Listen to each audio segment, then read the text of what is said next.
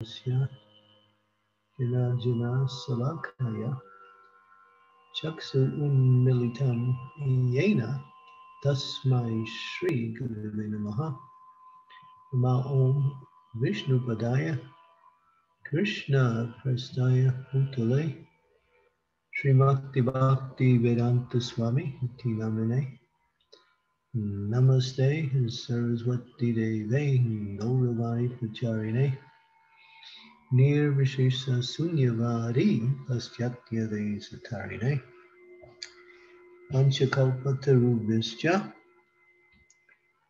Kripa Sindhu Devaja Patitanam Pavanebhyo Vaishnavebhyo Namo Namaha Jai Sri Krishna Chaitanya Prabhu Nityananda Sri Advaita Gadadhar Srivasadi Gaur Bhaktivinoda Hare Krishna Hare Krishna Krishna Krishna Hare Hare Hare Rama Hare Rama Rama Rama Hare Hare Hare Krishna Hare Krishna Krishna Krishna Hare Hare Hare Rama Hare Rama Rama Rama Hare Hare Hare Krishna, Hare Krishna, Krishna Krishna, Hare Hare. Hare Rama, Hare Rama, Rama Rama, Hare Hare. Hmm.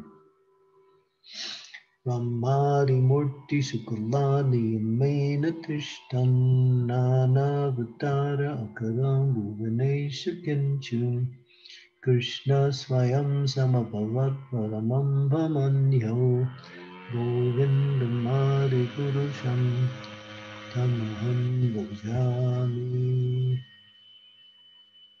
Govindamadi Purusham Tamaham Bhajami hmm. We're speaking about the uh, Ramayana here.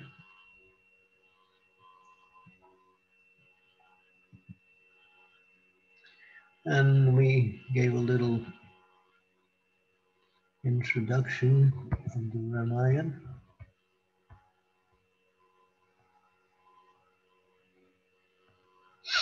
This verse I chanted. This verse, Ramadi Murti Shukalani Amena Tishtannana Vatara Karo Bhuvanesh Kintu. Krishna Swayam Samabhavat Paramam Pamanyo Govindamadi Purusham Tamaham Bhajami. Verse number 39 of chapter 5 from the Brahma Samhita. This verse describes Ramachandra as Ramadi, not only Ram, but there are many other incarnations. They are compared to the waves of the rivers, as the waves of the rivers of the ocean cannot be counted. So, in the same way, it's not possible to count even the principal incarnations of the Lord, and to speak of all of them.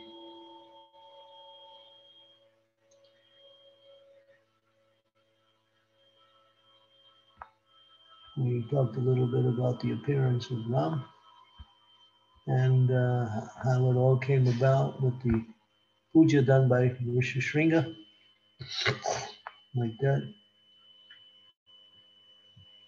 Ram appeared during the Treta Yuga, which is about two million years ago. Today we'll speak about one little, not little, but very essential pastime within the Ramayana which kind of unfolds the whole plot scenario in the Ramayana.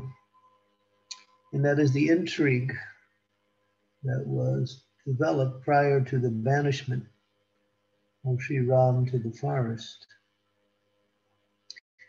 This uh, intrigue gives us a little insight of the importance of and the cautionary aspect of association.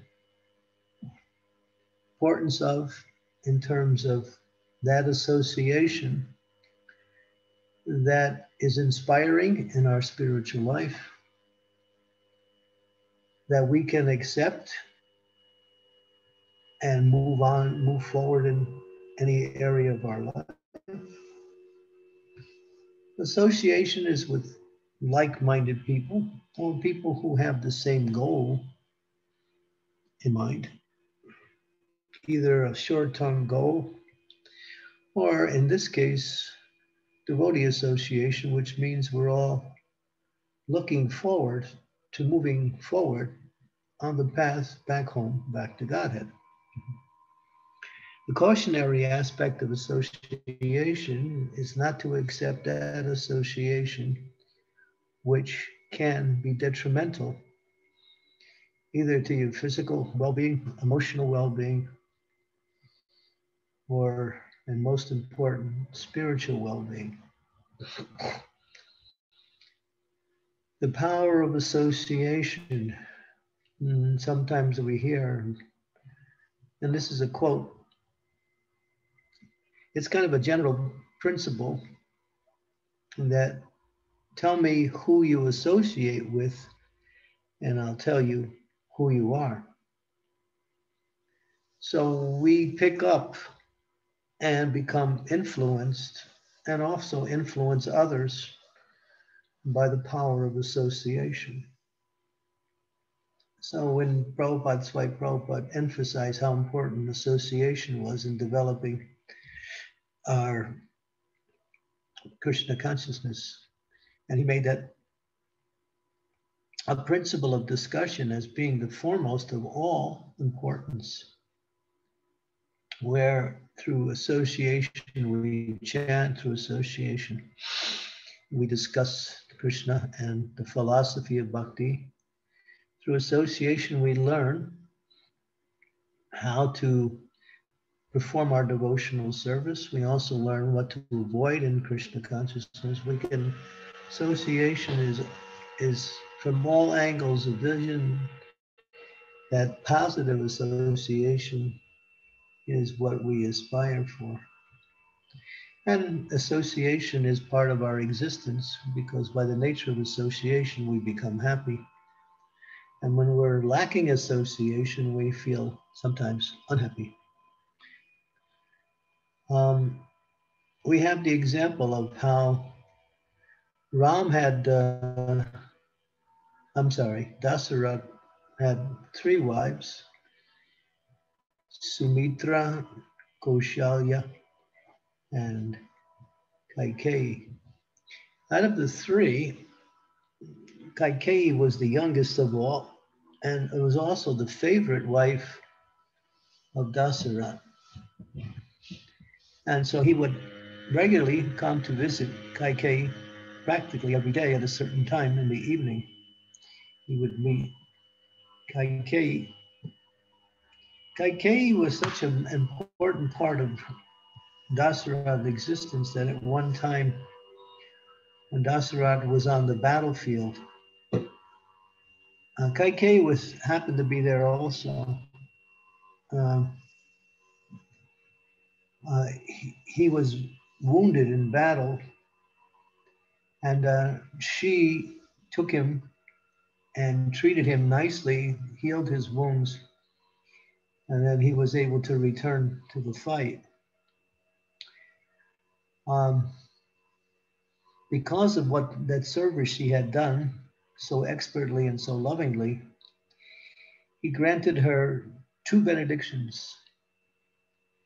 And he said, Because of your wonderful service and your love for me, I want to give you two benedictions. You can ask from me anything you want.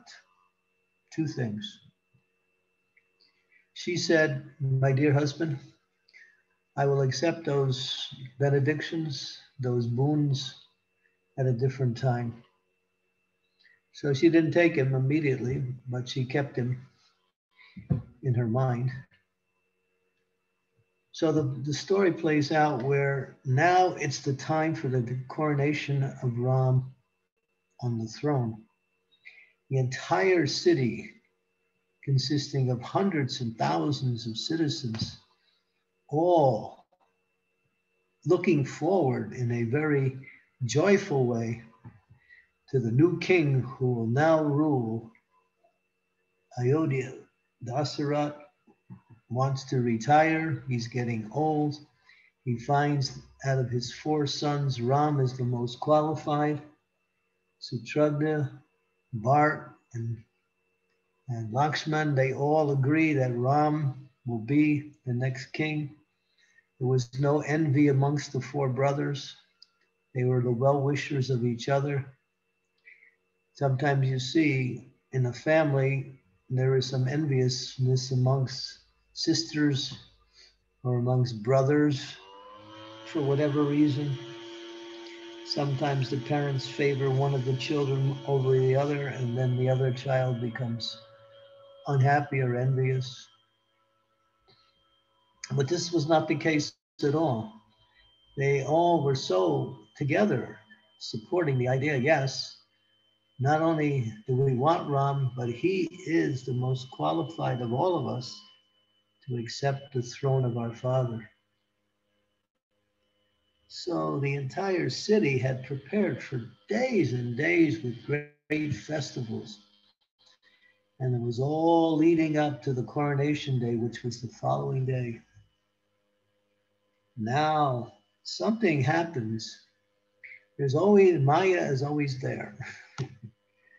when in fact, in spiritual life, when anytime you're trying to do something that has something significant about it, in other words, a great move forward in spiritual life, you can expect that Maya will come with some obstacle, challenge, something that may cause one to uh, have to divert their attention away from the situation in order to deal with the attack of Maya. So in this case, it was uh, something quite unexpected. Kaikeyi was in her chamber along, and uh, she had each of the, the wives had maidservants who would, who would assist them in whatever way they needed assistance. And so there was one maidservant of Kaikeyi, her name was Manthara. Manthara was a hunchback, and she was uh, Kaikeyi's assistant. Now, Manthara, when she heard that uh, the son of Kaushalya Ram would be the next king, she became unhappy and her unhappiness turned into very strong sense of envy. In the, in the scriptures, it's mentioned, Prabhupada also mentions it in his lectures, that out of all the qualities such as lust, anger, greed, illusion, pride. Envy is the worst. Because within envy, it contains all of the other bad qualities along with the monarch of all demoniac qualities is enviousness. The living entity falls from the material world because they are envious of Krishna and the whole material world is always in competition on different levels family members, friends, societies, communities, nations are at odds with each other because there's this element of enviousness. Mm-hmm. So, just like in the world, if one nation is greater than the others, they may fear that nation, but along with, and they may also show some respect, but that respect is really based on the principle of fear. And therefore, behind the scenes, envy exists. So Manthara, she uh, approached Kaikeyi. She said, Kaikeyi, do you, do you know what is happening? Do you understand what is about to take place? Are you uh, so foolish that you cannot see what will happen? Kaikeyi said, Manthara, what are you speaking? You don't know. But tomorrow, Ram will be coronated, and therefore your son, Bharat, will be in a lesser position. And you, especially you, will no longer be the favored queen of uh, Dasarat. He will favor Kaushalya over you, and you will be marginalized. You will be neglected. You may even be mistreated. Kaikeyi said, What are you speaking about, Manthara? Everyone loves Ram. I love Ram. I'm, in fact, I love Ram just as much, even more than my own son Bharat. He is such a jewel of a personality with all good qualities, always seeking the welfare of others, qualified in so many ways, a true leader of, of, of the world. And she went on to glorify Ram, but, but Mantar kept saying, You don't understand. Don't you know when Ram will take the throne, what will happen? He will imprison you because because he knows Ram knows that Bharat is more qualified to take the throne, and he will see Bharat as his competitor and as his enemy, and he will take Bharat and place him in jail. He may even also decide to kill him, so Bharat will be not an obstacle to his rule. Kaikeyi is listening to all this poison that's coming from her maidservant Manthara. She's not agreeing with it, but she can't think of what else to say. She's confused. And then Manthara goes on speaking even more. And then Dasarat, Dasarat will neglect you. He won't even see you. His favorite queen will be Kaushalya. He'll give all the time to Kaushalya now that Ram is on the throne. And you will be not even noticed. she went into this diatribe of criticism of Ram and of, of Dasarath, speaking about this imaginary plot that she had created in her own mind and trying to convince Kaikeyi after she spoke for such a long time speaking and Kaikeyi was listening. Because she was listening she was affected it's interesting to note because when you listen to criticisms of others, even if you don't believe it, you become affected. You become affected in two ways. One is you're, you feel unhappy, and two, you even start to subtly think that there is some truth to what you are hearing. And that could also lead to you feeling the same way in the future. To listen to criticism is like taking poison willingly, especially criticism of another devotee. So Kaikeyi is listening and Mantar is going on. And then Kaikeyi tried in so many ways to counter some of the arguments. Manthara was had planned her her plot very nicely, and she was able to speak in opposition to everything Kaikeyi said. See, what Manthara really was saying is that if Ram becomes the king, then you, Kaikeyi, will be in a lesser position. And what will happen to me? I will not get the same benefits that I'm getting now. So Kaikeyi, uh, Manthara was speaking this way because she was thinking of her own vested interests.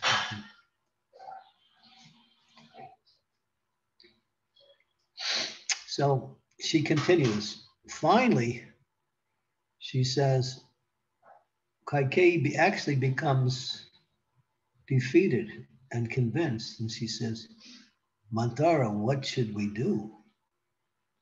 Well, do you remember those two boons that Dasarat gave you? Yes.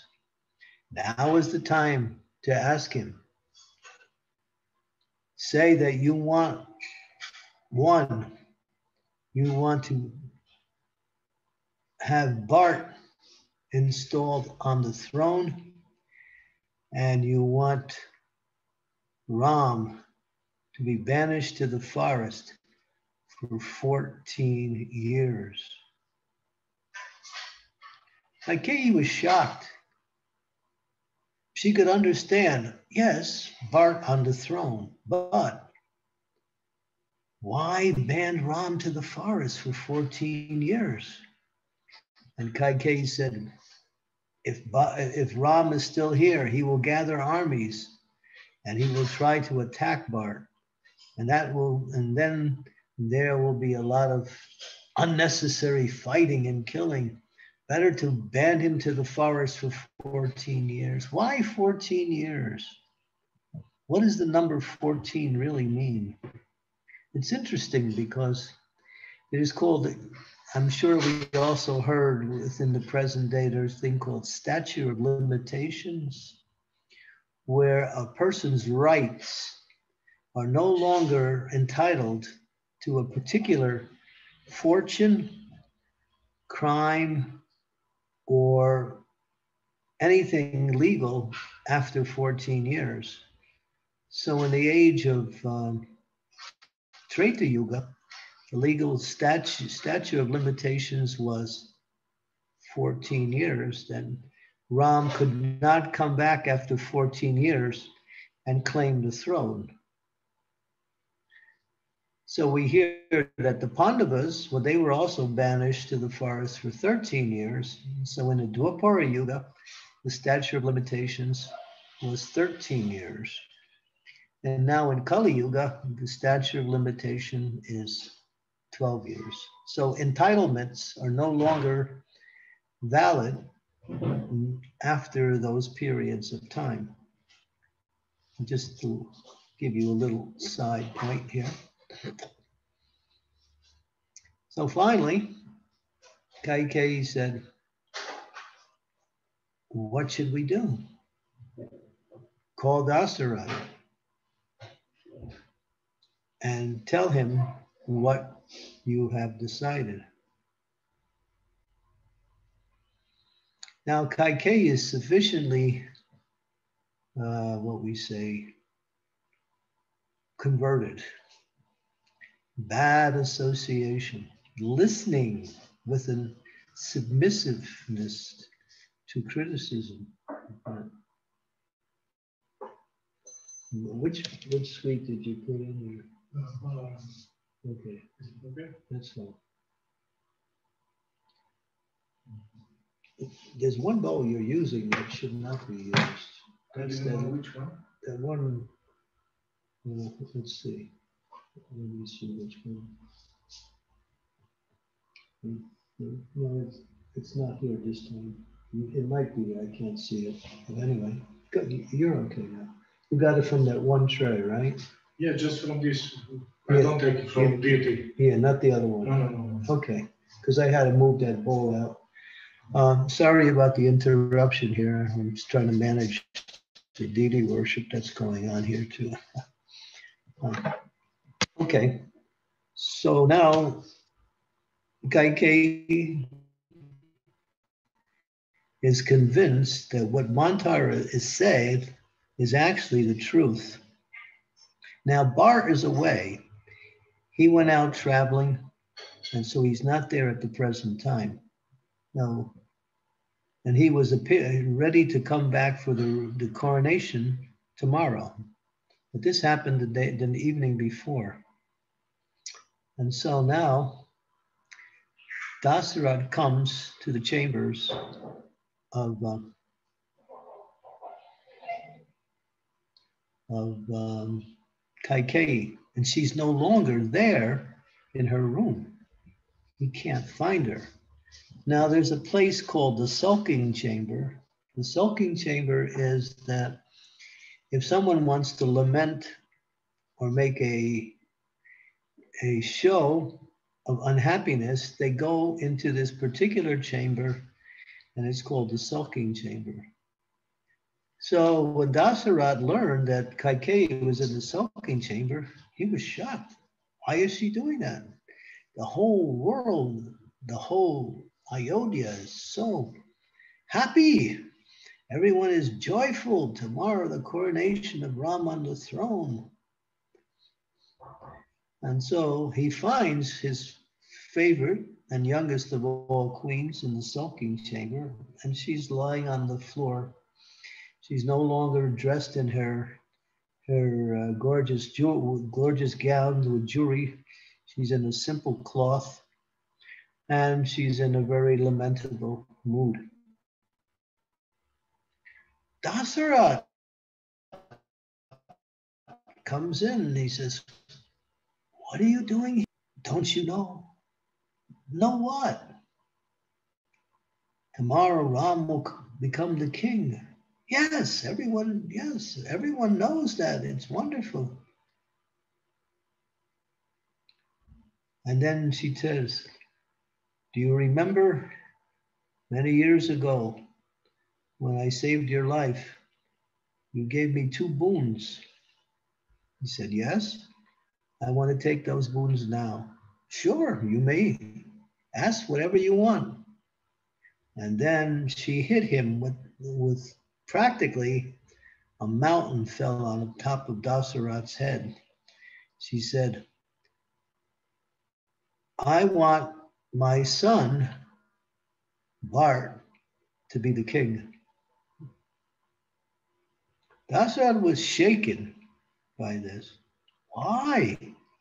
You love Ram just as much as you love your son, even more. We've seen that how you how you showed you so much affection and attentions to Ram.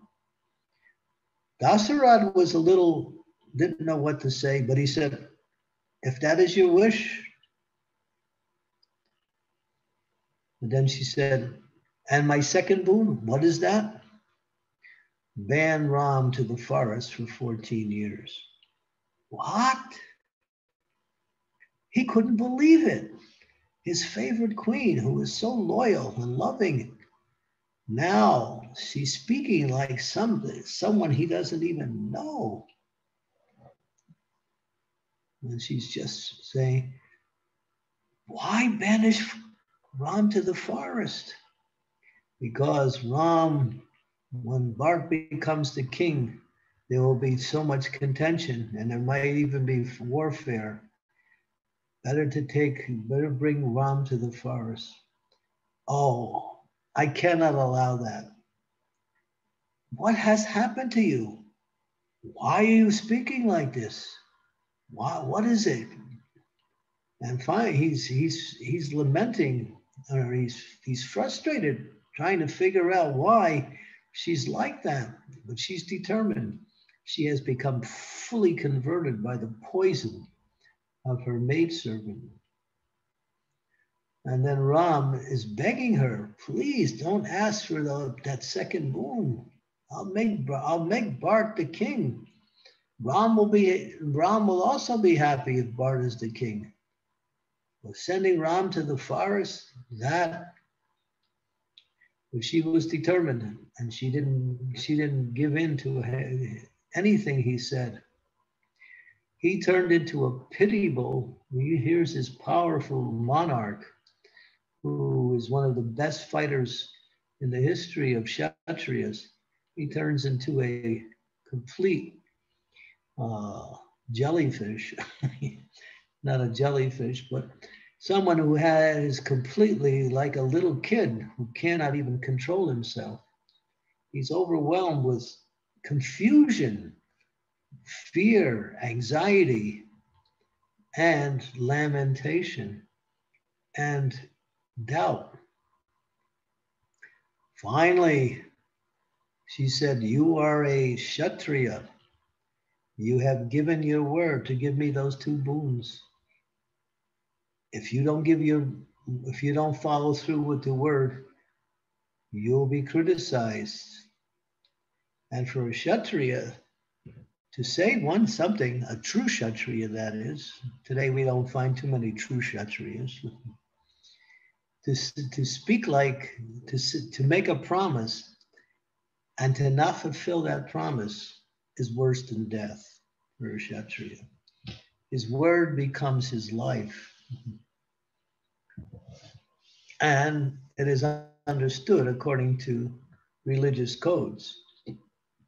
So therefore, she found many ways to find fault with him if he failed to give his word. Well, this went on.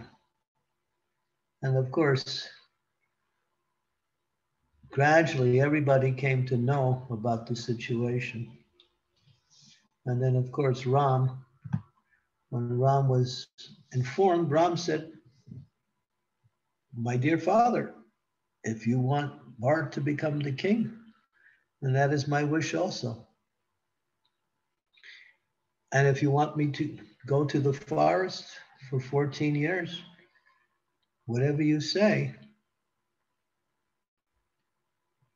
But then, when everybody heard, oh, what is happening? Ram is not going to be the king. Bharat wasn't there at the time. The coronation was scheduled later, and Ram, Bharat had not appeared. and so this went on. And finally, Ram said, I'm, I'm happy to go to the forest. And when Lakshman, he found out, he said, if Ram goes to the forest, I will not stay in Ayodhya. I will, I will go to forest with him, and together I, I will protect him from every all the dangers in the forest.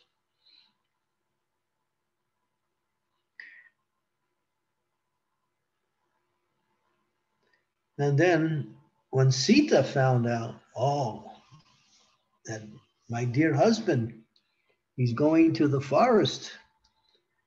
How can I stay in Ayodhya and live without my husband? It's not possible. And she came, she said, I want to go with you. Ram said, Not possible. The forest is cold. The forest is full of dangerous rakshasas. How will you live? How will you eat? You have to sleep on these cold ground. There are also ferocious and wild animals. The forest is not a place for a queen like you. I cannot allow it. In so many ways, he spoke, trying to discourage her. But then finally, as a dutiful wife, she said, My dear husband, the forest with you is Ayodhya, and Ayodhya without you is the forest.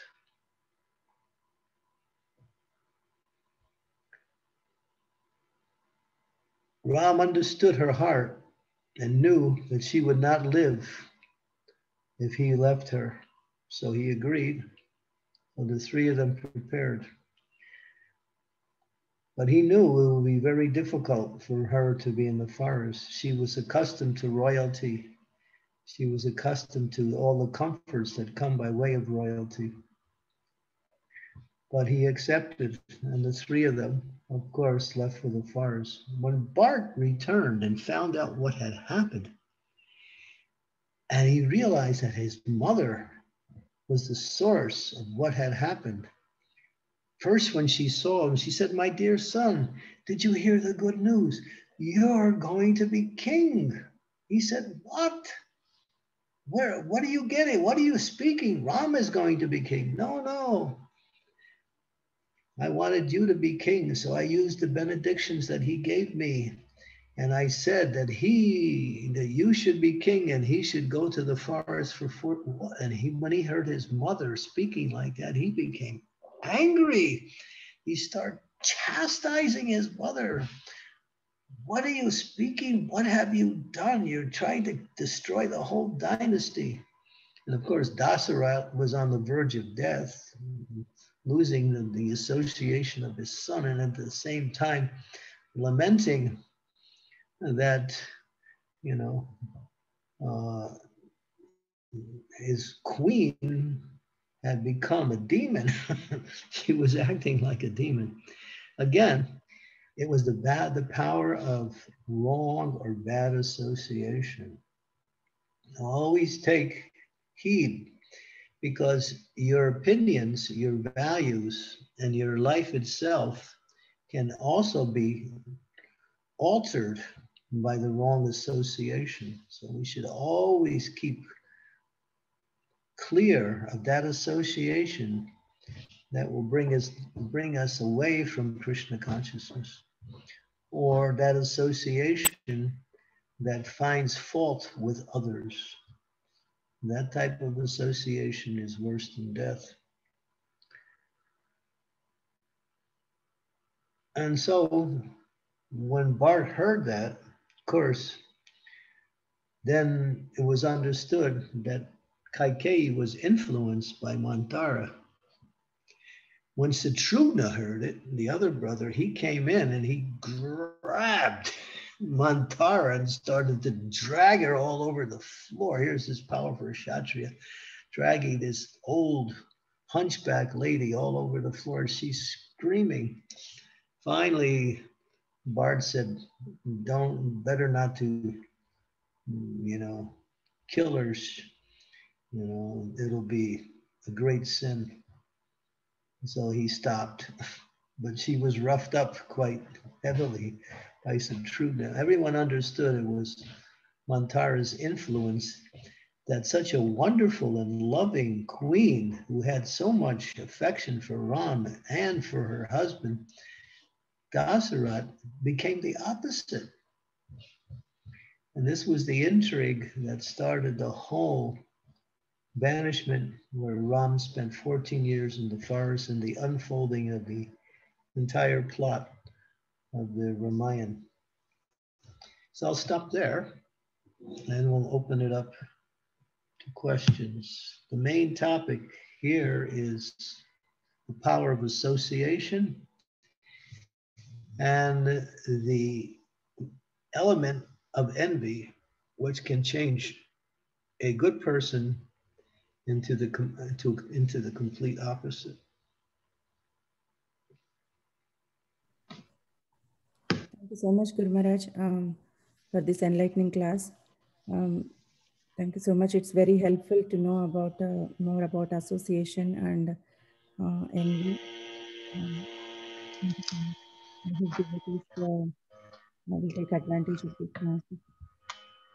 The Ramayana teaches us so many things that we can use and we can learn in our practice of Krishna consciousness. I request devotees if they have any questions or comments or realizations, uh, they can go ahead, please.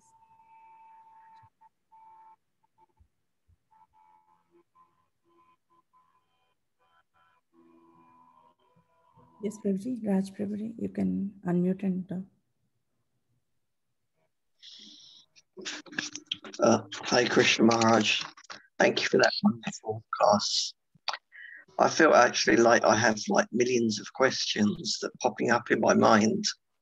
It started from things like uh, you say that Ram allowed Sita to come with him because he knew that she couldn't live without him.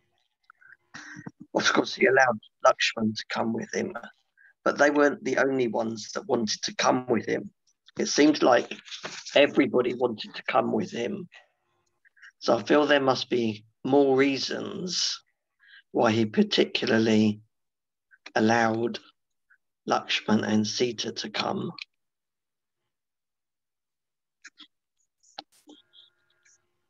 Mm-hmm. Well, when the citizens found out, Ram had already been gone. And so Sumantra was driving the chariot of Ram. And the citizens, they all got together and said, We don't want to stay in Ayodhya without Ram. So they, they all got together and followed Ram into the forest. But Ram didn't want them to come. In fact, when at one point up with Ram, and then that one night he was with everybody in the forest. And then in the middle of the night, uh, Ram, Sita, and Lakshman got on the chariot of Sumantra. And he told Sumantra, You drive away and uh, you make a path where they can't follow.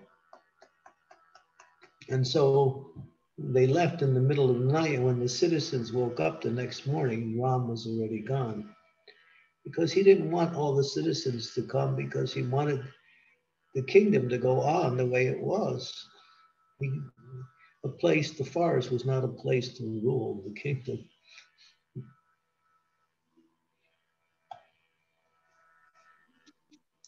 Yeah, but Lakshman, he didn't have any trouble allowing Lakshman to come. Lakshman was his dedicated brother, and they were so close. And everything they did as they grew up were close. So it was natural that Lakshman would go with him. But he knew that if he didn't allow Sita to come, she wouldn't be able to live without him. And so he allowed her to come. Of course, it also says in one of the messages of the Ramayana, never take your wife to the forest.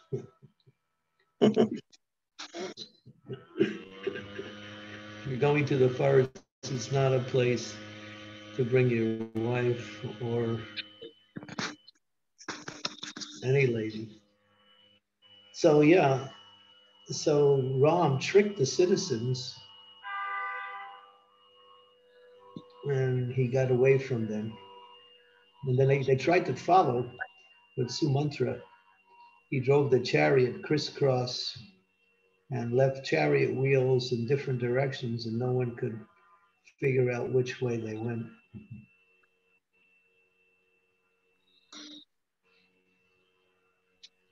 Thank you, Maharaj. Yeah. Were you one of the citizens that wanted to follow?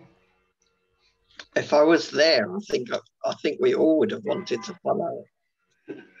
I, I, I have to agree with you. yeah, that's how they all felt. Felt they felt well. We don't want to stay in Ayodhya anymore. Let Bharat rule by himself. we're, we're going to we want to be with Ram. But Ram knew that wasn't the best thing. He wanted the kingdom to go on. Mm. Okay, thank you, Maharaj. Mm-hmm. Hare Krishna. Hare Krishna. Hare Krishna Maharaj. Please Hey. accept my please accept my humble obeisances. All glories to Srila Prabhupada, all glories to you, Maharaj. Yaho. Maharaj, uh, thank you. I think you raised a very, very fundamental point about association uh, with Manthara and, uh, and, and the tendency to find faults, Maharaj. What is the root cause of the mind trying to find faults with others? What is the root cause, and how do we is there any remedy for it any practical applications through which we can try to overcome that tendency the root cause is envy, and the, which causes dissatisfaction. When dissatisfaction becomes strong, then one wants to um, express that dissatisfaction towards the object that they are dissatisfied with. Whether it's right or not has nothing to do with it.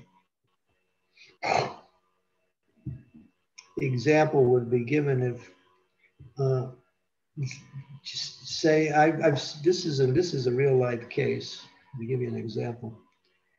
In one workplace, perhaps you can identify with this. There was one uh, particular uh, worker who was really a great worker. He was excelling all amongst all his co-workers.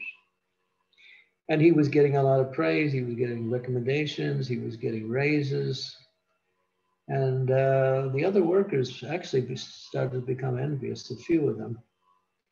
So what they would do as in their dissatisfaction to seeing him getting all the benefits of his work, they uh, they plotted against him, and so they would um, go into his office when he was not there, and uh, sabotage his computer, or do other things to the material that he uh, that he had uh, gathered and uh, in this way, they tried to tear him down that way.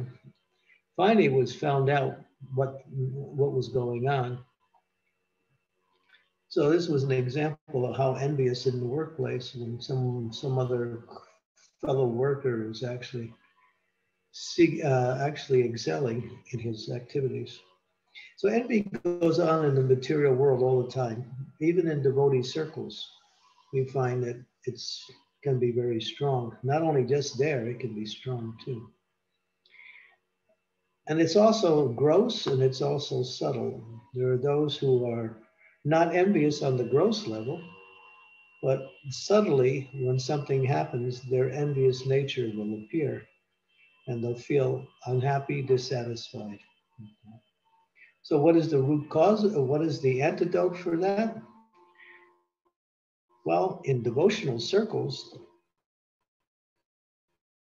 the, the, there's two principles. There's one for an individual and there's one for activity. The individual is to appreciate and um, be satisfied whatever Krishna has given you. Krishna has given everyone something.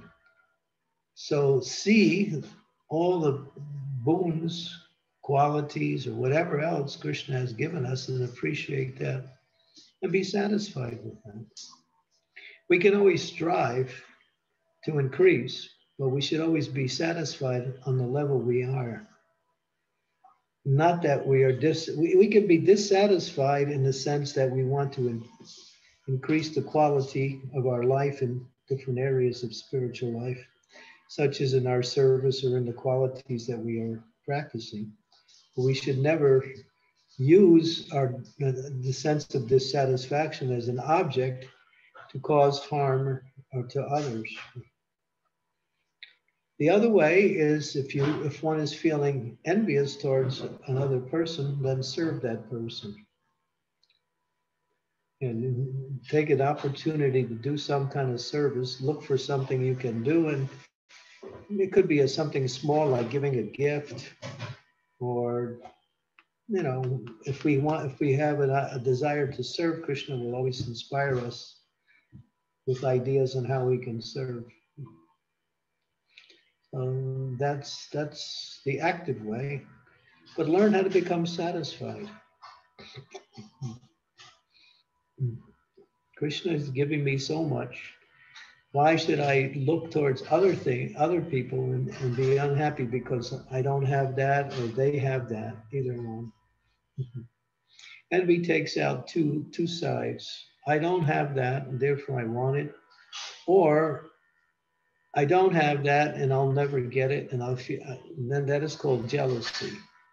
Jealousy and envy are the same thing, but jealousy means turning that negativity towards oneself Envy means turning that negativity outward. So I'm jealous because I'm not as good as you are, to use a, a, phrase.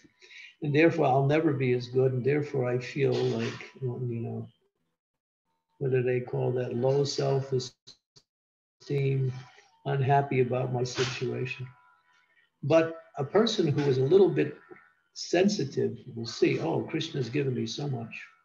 He's given me this, he's given me that, he's given me this. And the more we look in those areas, the more we see what Krishna is doing. And we can always build our life based on whatever we have instead of, you know, looking outward and feeling unhappy about what we don't have. but I'll give you a nice definition that may be something you can really think about. So, what is envy? Well, we understand that whatever a person has, whatever a person is, is coming from Krishna, right? Can we accept that? Ultimately, Krishna is the supplier, provider, maintainer of everyone. So, I'm unhappy about what this person has or is. So my problem is not so much with that person, my problem is with Krishna. Because Krishna has made that person what they are, and therefore I don't like the idea of what Krishna has done. So my problem's with Krishna, not, not so much with that person. So if you think about it in that sense, our envy comes back when we're envious of others, it's a subtle envy towards Krishna also. I think Maharaj, that's a very, very profound way of looking at it uh, and understanding. I mean, I mean, we are in the material world because we are envious of Krishna, but I think if when we when we take our envious mentality or thoughts towards a person with that thought, uh, I think it helps. This is wonderful. A lot, yeah. We don't. We always want to keep a loving relationship with Krishna. So, but but Everybody is Krishna's part and parcel. I can't take credit for that, that statement. That statement was made by Radhanath Maharaj. So I got that from him, just in case. Don't give me credit for that. I'm just repeating. But what if you think about what he said, it's actually quite powerful. but Prabhupada, Prabhupada did say, excuse me, Prabhupada did say that the difference between material and spiritual is the difference between envious and non-envious. He said, if you're non-envious, you're in the spiritual world. If you're envious, you're in the material world. And that's a direct quote from Prabhupada.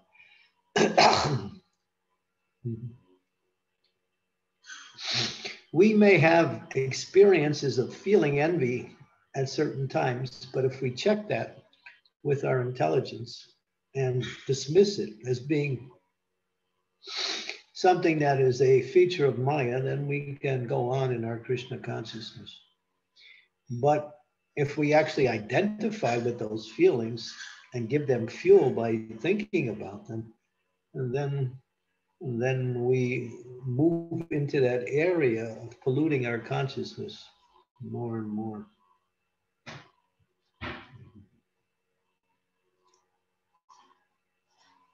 So as soon as you feel like that, just immediately dismiss it. It's Maya, it has nothing to do with reality. So, uh, one of the one of the uh, one of the qualities of a, a non-envious person is that when another person is happy, that person experiences happiness also. In other words, when you see another person happy, you become happy. That's a quality of non enviousness. Mm-hmm. And it's not limited to, to family members mm-hmm. and friends. It should be, it, it's meant for all living entities. I think, Maharaj, the other thing that you said is also quite um, profound but very very difficult to implement is serve that person with that mood, looking to do something for that person. That's, That's not hard. You can always think of something. You know, it's it's the antidote for for that mood. Yes, we have to come out of that comfort zone and the mind, uh, ring fencing it. So no, thank you, Mara. This has been very useful, and I think you know what you also said uh, is using our intelligence when these thoughts comes because when i was reading the ramayana a few months back and how Kaikeyi lost her intelligence, her good intelligence, and her complete sense of discrimination was lost. Uh, and this can be found when she is glorifying Manthara. And that glorification is quite humorous because she glorifies to a very extreme end. But from that, we can get an idea of to what level her discrimination was lost and her intelligence was polluted through that association. Yeah. Yeah, Manthara was completely self-interested. She simply was thinking, if Kaikeyi's son, if if, Ra, if Kaushalya's son becomes the king, my queen will be relegated to a lower position, and then that means I will not get the benefits I'm getting. That was her motivation. It was all self, self.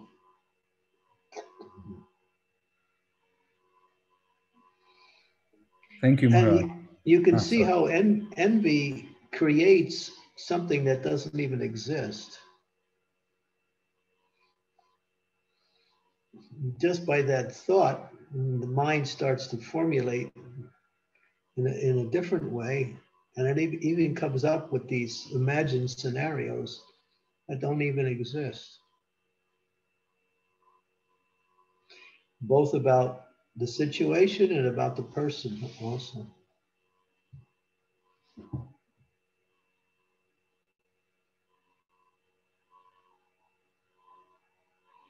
Thank you, Maharaj. Thank you for the guidance. Okay. I'll try to implement points. Hare Krishna, my the Ramayana is, has, is full of very powerful and very relevant spiritual messages.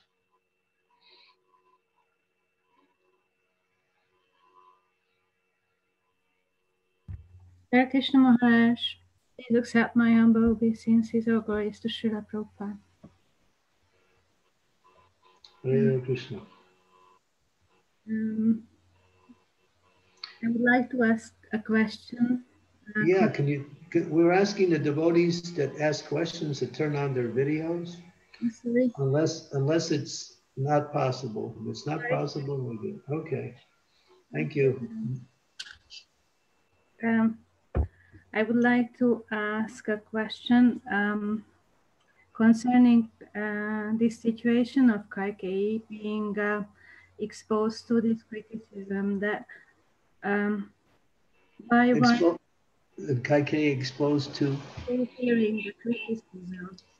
Okay. That's why one gets to this situation, um, helplessly being exposed to a criticism and then um, no excuse, no escape, no nothing, just standing there and can't leave. And it, um, it might get us some uh, message, but still um, some anger arises and um, you have to tolerate it and it's it's very difficult and sometimes we can't leave the place and we can't do anything just uh, listen and Manthara Manthara was expert on how to she was how she administered the poison Kaikeyi tried to argue against Manthara's statements, but every time she said something, Manthara had a response that would defeat or seemingly defeat Kaikeyi. So after Kaikeyi would, could no longer respond, and she played on her sentiments that, you know, she said, um, and she also said one thing, she said that uh, where if Ram takes the throne, he will uh, when Bharat comes back from his trip, he will know that Bharat is more qualified and therefore he will do, do harm against Bharat. She made up this, this idea. So she was looking to really hit Kaikeyi where it hurts. And she did it. Kaikeyi was not easily convinced at first, but the problem with Kaikeyi is that she stayed there and listened more and more. She should have immediately just dismissed it and got away from that situation and told her maidservant, you know, leave, get out of here, don't come back. But she didn't. So that was her, we might say her mistake.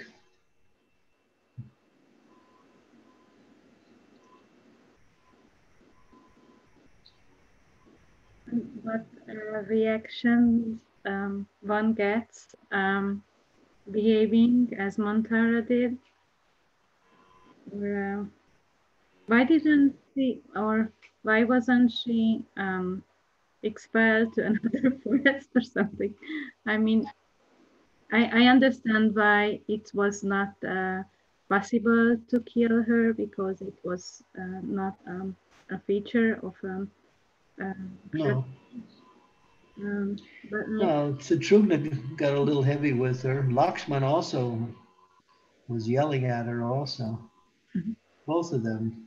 But Shatrughna really, he got really upset. He started dragging her along the floor and she was screaming. But then I, I forgot somebody stopped him. I think it was Bharat. And of course, to kill a woman is a, is a great offense, no matter how wrong. It says a woman should never be punished for her misdeeds. She should be corrected, but not punished. That's also Vedic culture. So that is a big teaching of this side of, yeah.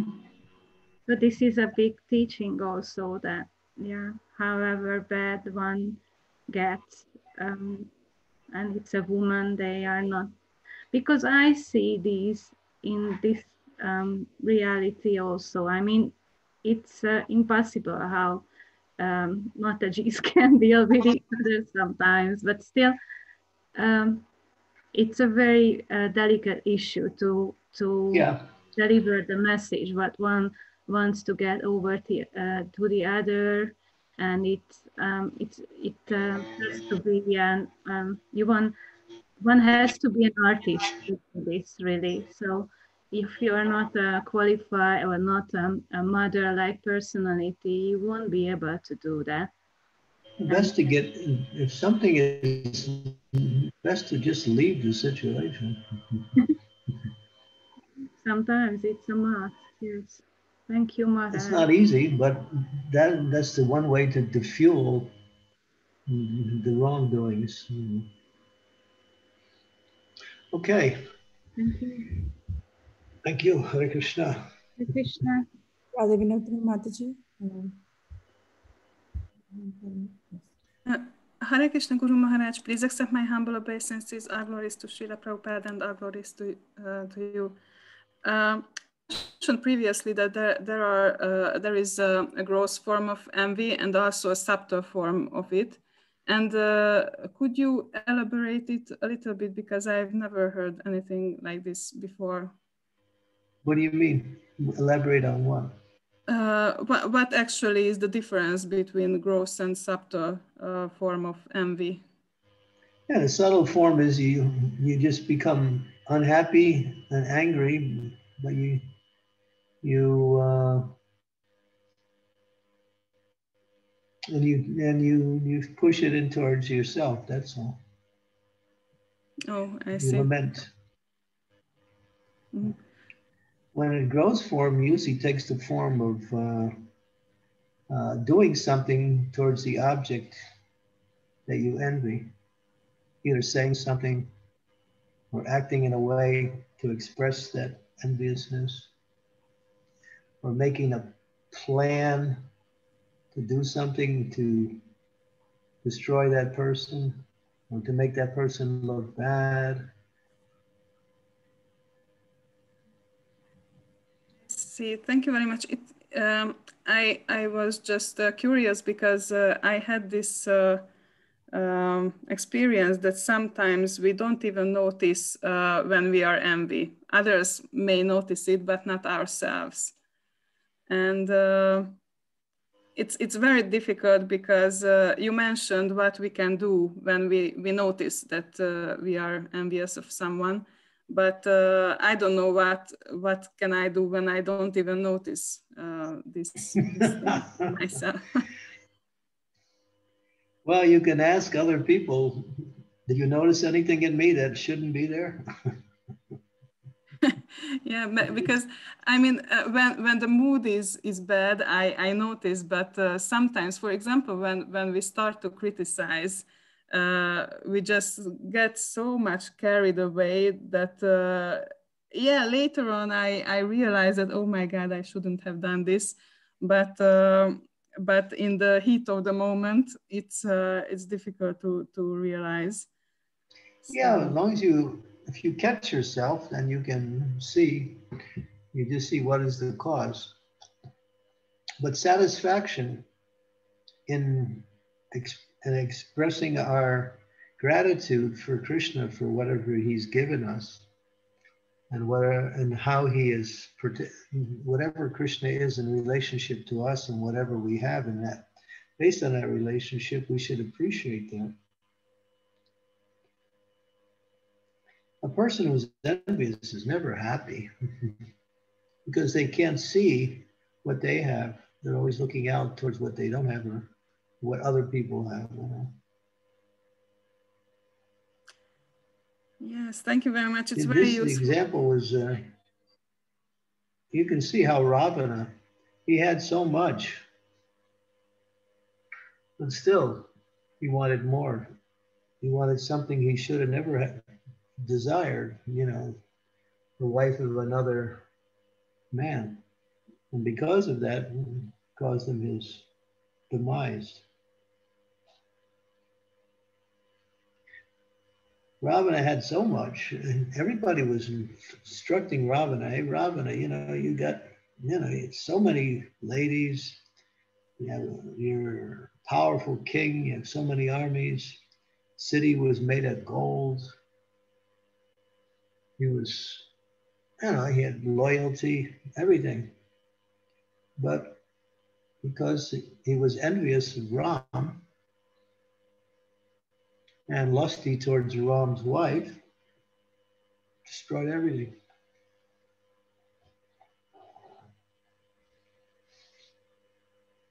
Some, sometimes so it seems that the mind mind can never be satisfied actually so uh, we can be satisfied by chanting Hare Krishna. yeah. Yeah, that's the greatest medicine. And sometimes when that doesn't work, just take prasad.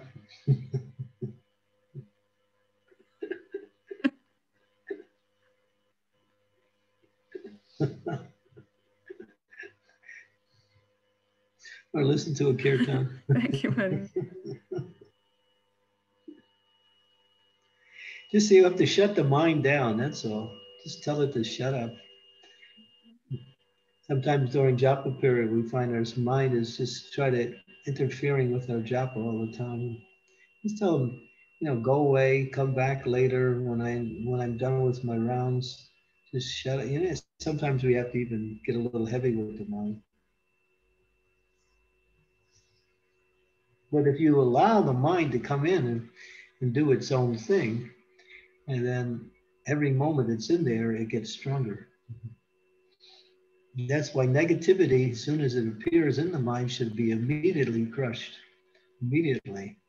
Because every second it remains, it, it gets stronger.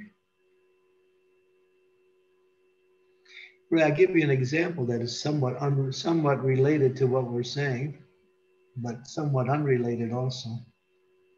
Is that there are people in the world who are they are they want to remove evil from the world So they learn about evil and they try to fight against evil, but they're, they're absorbed in evil all the time, finding out where it is and trying to destroy it.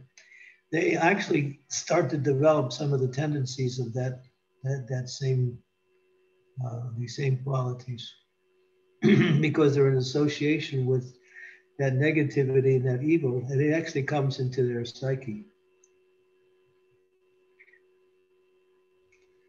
Well, the best thing is always keep your mind in Krishna consciousness, or at least in the mode of goodness.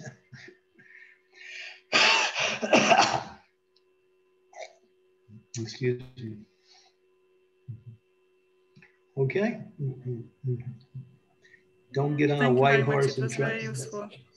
Don't try to get on a white horse and try to solve all the problems.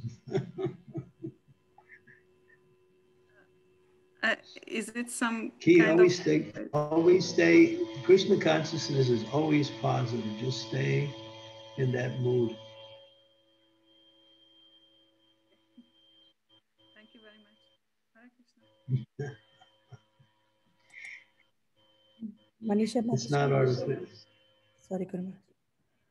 Yeah, it's not artificial either, either to be in that mood all the time. Any other questions? Yeah, Manisha Mataji has raised his uh, her hand. Uh, so, Okay. Manisha. Hare Krishna Shri Guru Maharaj Ji, Dandavad Pranam, uh, Pranam obeisances to all the devotees. Um, Guru Maharaj my question is that um, in like a, you know, the Lord's pastimes, you know, it they're, they're so emotional, like it's like a emotional roller coaster, you know, when you're reading and or listening. And for some of the parts in the ramayana uh, for me it's very hard to uh, read or get through those parts you know?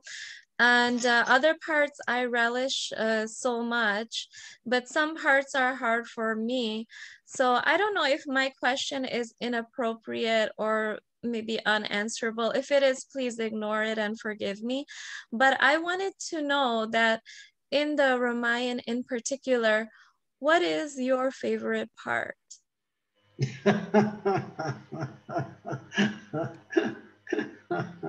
what is my favorite part? well, hmm. There's a lot of outstanding things in the Ramayana that really. Ah, I like when Hanuman is destroying the city of Lanka. when uh, Hanuman is just after he's after they set his tail on fire, how he just goes around and and in Kambi's Mara- uh, Ramayana, which is put out by Subhas Vilas in his version of the Ramayana, it's in detail of what what Hanuman did after. It's really in detail. It's just like exciting. So I like that whole section where Hanuman crosses the ocean and sneaks into Lanka, finds Sita, then gets captured purposely to find out more about Ravana, and then gets released with his tail on fire, and then takes the whole city. Half the, he actually destroyed half the city. And then what he's what I like what he said just before he left, he stood on the wall of the city. He said, You know, I'm just one of many of the in in the army of Ram. What I've done is insignificant. Wait till Ram comes, he will finish your whole city. so he gave a farewell address to to uh, I think the residents of Ayodhya uh, of Lanka. So that was um, I like that. I like the fighting parts in the Ramayana. and you know what, Guru Shri Guru Maharaji, those are the parts that are the hardest for me. I don't look forward to those parts, the fighting parts. well, maybe uh, you can ask your mother. She's maybe more in that mood. Huh? no? she might like it. Uh, no, actually, I find like uh, you know, in there of course in the pastime the lord's the numerous pastimes there is something for everyone you know? So like uh, sometimes uh like a men are more little bit aggressive. They like to watch kind of like a action movies fighting kind of things you know so uh, they enjoy like the war part fighting part. And uh, for me like uh, i you know for my personal bhav like i really enjoy uh, in all the past lord's pastimes like uh, whether it's uh, Sri Chaitanya Mahaprabhu or uh, uh, uh, Sri Krishna Lord Ram the birth pastimes I love those pastimes you know Lord's uh, Leelas when he is a little toddler, you know, and those kind of things. I really love those pastimes more. It's interesting because I also have that. When I went to Ayodhya in 1999, there's a there was a little place nearby, and it had uh, it was a temple of Ram, and there was a deity called Balram there, Bal, little Ram, and they had all the all little toys all over the place. And I could still remember this deity, and then you had they had a ball and some other. I only remember is the ball and some of the other toys. And so um, after that, I kept kept chanting Balaram instead of you know Rama. I was chanting Balaram. So I like I like that that's also uh, an attraction for me. Krishna's pastimes. I like Krishna's pastimes when he was a baby, young, and I also like Ram's pastimes, which are not so much. But if you read Kambi's Narayan or Subha Vilasa's uh, Ramayan, he describes Ram growing up and there's a lot in there about when he was growing up as a young boy before he was the age of 16. So yeah, that's just that's sweet. That's very nice. So there's the sweet side there. And also, Sri Guru Maharaji, I uh, have so much um, uh, unboundless respect for Mother Kaikeyi. I admire her so much because, uh, you know, I know like um, to love the Lord it's like a, a part, a huge part of love is sacrifice and not wanting anything for ourselves, but wanting everything for the object of our affection, which in Mother Kaikeyi's uh, uh, character is only Lord Ram. She, uh, from the birth, she loved Lord Ram the most out of all the mothers. And Lord Ram also held her in like a most loving affection. And as a child, she was the one out of everyone who said that, yes, I will be the one to banish you to the forest. I will be the one to take the blame for eternal time. So even today, like uh, everyone says bad about Mother Kaikeyi, everyone blames her, everyone hates her. Nobody will ever name their child Kaikeyi.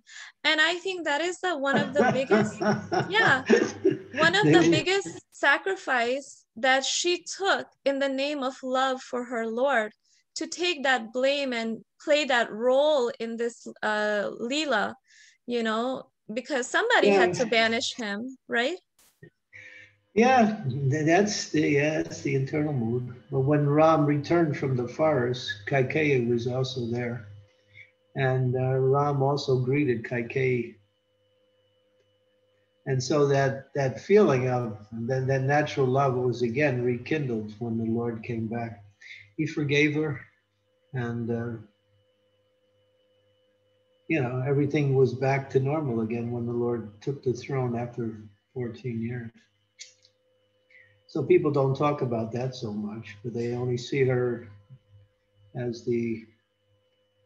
We, we don't look we don't blame Kaikeyi so much. We see more Manthara was the was the uh, personality that nobody likes is Manthara. Manthara is Manthara was also playing her role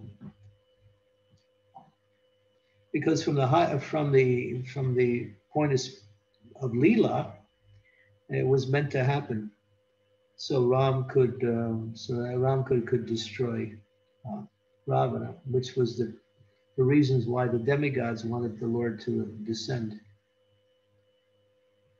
So on a higher level, yeah, but on another level, we can learn also these different points that can help us develop good qualities and avoid uh, bad qualities.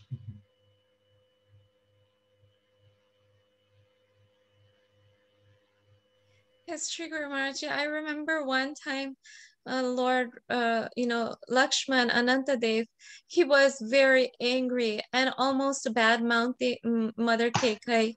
And Lord Ram stopped him right away. He said that, do not blame Mother Kaikeyi. you know, she is a spotless. She's, you know, only playing her part, you know, in all this. Yeah, yeah. Ram understood everything. He never had any ill feelings towards anyone. And then later, uh, he also told, uh, you know, uh, brother Bharat to forgive his mother. Yeah, which he did. Mm-hmm. At the end, everything worked out nicely. Mm-hmm. I'll get into some of these other parts of the pastimes in the up and coming days leading to the Lord's appearance. So we'll uh, discuss more of the Ramayan then. Thank you so much, Sri Guru Maharaj. Hare Krishna. Okay, so uh, Lavanya. Yes, Guru Maharaj, we are. So we, we can close now. Yes, Guru Maharaj. I think Sridevi Mataji has a question. Uh, can she ask Guru Maharaj? Hmm. Well, it's getting really late, but yeah, go ahead. Quickly, Sri Devi. Uh, Guru Maharaj, I can ask this tomorrow, no problem. Okay, we'll, we'll catch you tomorrow. Yes, Guru Maharaj. Thank you. Thank okay, you. thank you. Srila Prabhupada ki jai. Gaur Premanandi. Hari Hari Thank you. Hari Thank you very much.